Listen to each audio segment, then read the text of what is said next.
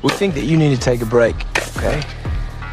Why don't you go get yourself a shade, some food? Maybe I tell you what, maybe a little bit. I'll come out here. I'll help you myself, Jim. Just tell me what it's about. Why don't you just go ahead and give me that shovel? Or what? There is no or what. I'm asking you. I'm coming to you and I'm asking you, please. I don't want to have to take it from you. And if I don't, then what?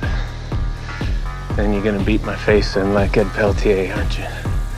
Y'all seen his face, huh? What's left of it? See, now that's what happens when someone crosses you. That was different, Jim. You weren't there. Ed was out of control. He was hurting his wife. That is their marriage, that is not his. He is not judge and jury. Who voted you king boss, huh? I'm not here to argue with you, all right? Just give me the shovel, okay? No, no, Please, no. just give me the... Jim! You got no right! Stop! You got no right! Jim, just stop it.